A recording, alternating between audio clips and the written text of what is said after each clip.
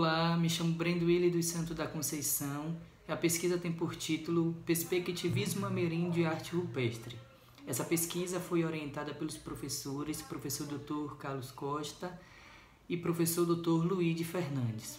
Sou estudante da UFRB no curso de Museologia e membro do grupo Recôncavo Arqueológico. A pesquisa teve como bolsa de fomento CNPq. Teve por objetivo a identificação de elementos né, a partir da cultura material desses sítios arqueológicos e das observações imagéticas né, dos dados discutidos a partir das teorias perspectivistas ameríndias, dialogando aspectos antropológicos às perspectivas arqueológicas.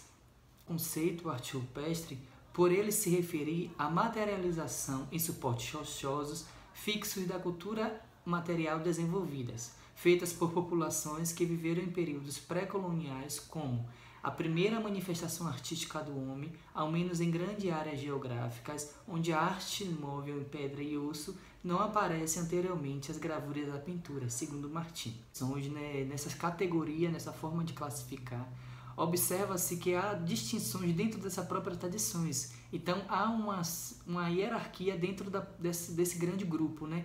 Então cria-se a tradição, subtradição e os estilos, tradição nordeste, por ser ela a mais identificável aos olhos. Então, o perspectivismo ameríndio, segundo Vieira de Castro, ele diz assim: é o referencial comum a todos os seres da natureza não é o homem enquanto espécie, mas a humanidade enquanto condição. Então, essa humanidade ela não está só ao homem, né?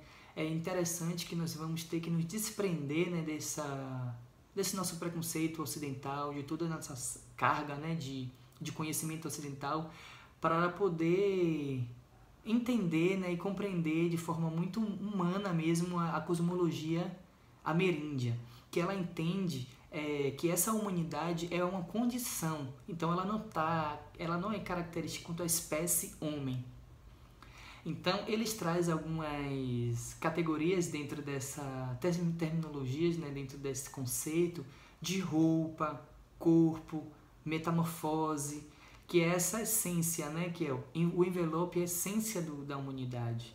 O hábitos é a aparência, o estado de transformação, compreensão da realidade.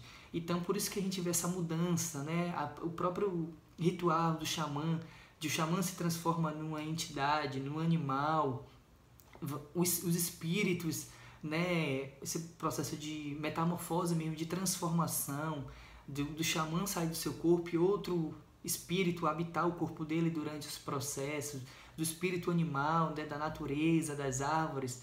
Isso é interessante. Então, nós observamos muito no, nos registros rupestres e na, na literatura é, essa transformação. Então, antropomorfos, que são humanos, né?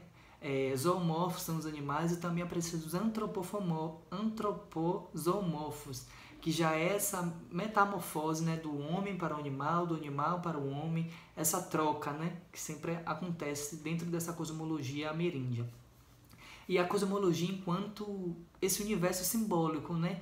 Então, sempre está presente nos registros rupestres, principalmente na a magia propiciatória da caça, o culto à fertilidade, a iniciação sexual, cenas cerimoniais e ou mitológicas. Então, a gente observa muito a partir dos registros rupestres nessa observação, né?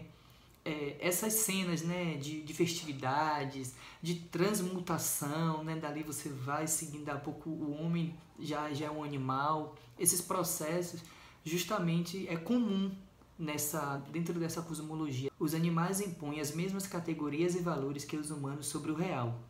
Seus mundos, como o nosso, giram em torno da caça e da pesca, da cozinha e das bebidas fermentadas, das primas cruzadas e da guerra, dos ritos de iniciação, dos xamãs, chefes, espíritos. Se a lua, as cobras e as onças veem os humanos como tapires ou pecaris, é porque, como nós, elas comem tapires e pecaris, comida própria de gente. Só poderia ser assim, pois, sendo gente em seu próprio departamento, os não-humanos veem as coisas como a gente vê. Mas as coisas que eles veem são outras.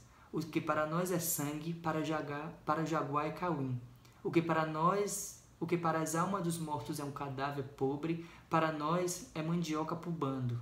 O que vemos como barreiro lamacento para as antas é uma grande casa cerimonial.